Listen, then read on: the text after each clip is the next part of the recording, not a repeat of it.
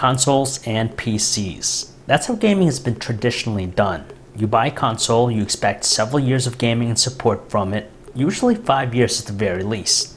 PCs, on the other hand, require upgrades through their lifespans in order to achieve peak performance. Well, it looks like consoles are now being subjected to the same strategy we've been seeing with PCs. Sony is moving in that exact direction with its latest console, the PlayStation 4 Pro, which is a redesigned and upgraded model that'll cost you $400.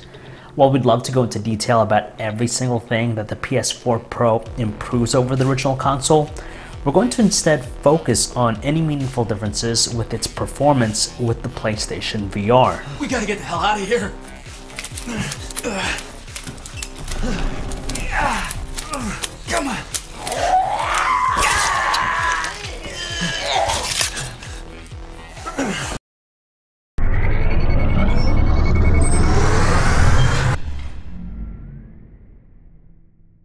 Now when it comes to its design, it's slightly larger than the original model. Luckily it's not a substantial amount of heft, but it'll still occupy a little bit more space. The angular industrial-esque design now features a three-level tiered cutout on its facade, as opposed to the two-level one used by the original. The other new changes to the PS4 Pro's design includes three USB 3.1 ports, where one of them is placed in the rear of the console, and a newer HDMI 2.0 port for output at 4K resolutions.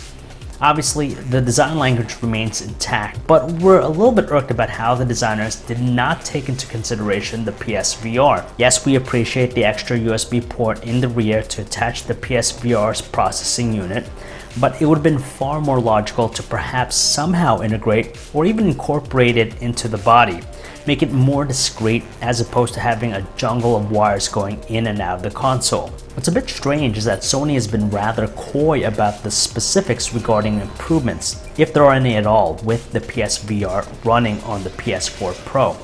It remains unknown if there are any, but given the performance boost accompanying the console, it's a safe assertion that the PSVR would natively benefit from all of it. So does it really have a viable improvement over the standard PS4? First and foremost, there's no improvement to the resolution, seeing that the display in the headset is still 1080p. That's not going to change at all, obviously. So from a visuals perspective, it's practically the same as what we get when using the standard PS4. What's really intriguing though is frame rate, and as we know, it impacts the overall experience. Anything below 60 frames per second, or choppiness or inconsistencies in general, can become problematic in the VR world. Those prone to motion sickness are apt to suddenly feel nauseous after playing for a short time. Well, we're glad to report that motion sickness isn't much of a concern here with the PS4 Pro. In fact, it seems to be less problematic. We got sick quickly playing Rigs Mechanized Combat League, but this time on the PS4 Pro, we didn't feel sick at all. That's surprising in so many ways just because we felt that the frame rate was smooth and consistent with the original PS4 already. So who's to say that it's improved? They talk heavily about frame rate in VR, how that could really affect motion sickness.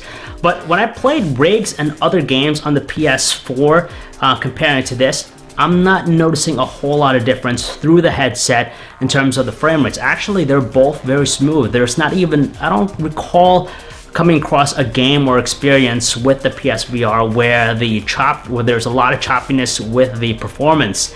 And moving over to the PS4 Pro, again, it's very subtle. There might be a speed boost in terms of the uh, actual frame rate, but I don't notice it. But overall, I'm not getting sick, which is the best part about it. Other games where we felt sick after some play didn't seem to faze us at all here with the PS4 Pro either. All this leads us to say that the PSVR experience here is improved, despite the lack of any noticeable difference in terms of the frame rate. The tracking too seems to be no different. Given how we're not feeling queasy playing through the same games that got us sick beforehand, it leads us to believe there might be a combination of things behind the scenes that contribute to the better experience. We appreciate the end result since getting sick is never fun.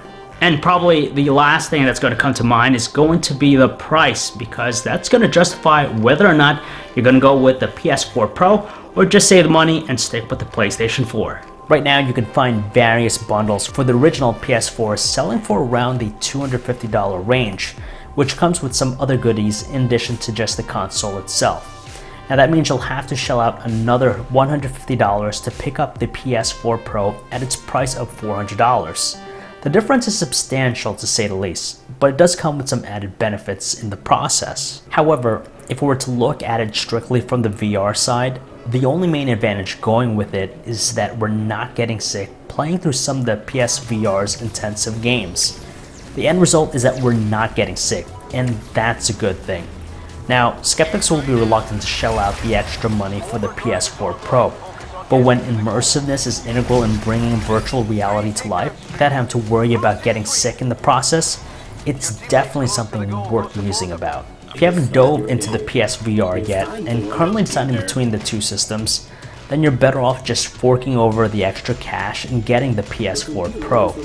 Granted, it's going to be more out of your pocket now, but it means you'll be able to experience VR much longer without the downtime caused by motion sickness. Yes, there's a price increase in going with the PS4 Pro, but there are also some benefits why you should go with it, especially when it comes to the virtual reality experience. So if you guys want to learn more about the Sony PlayStation 4 Pro, you can check out our website, VR Source, your source for all kinds of reality.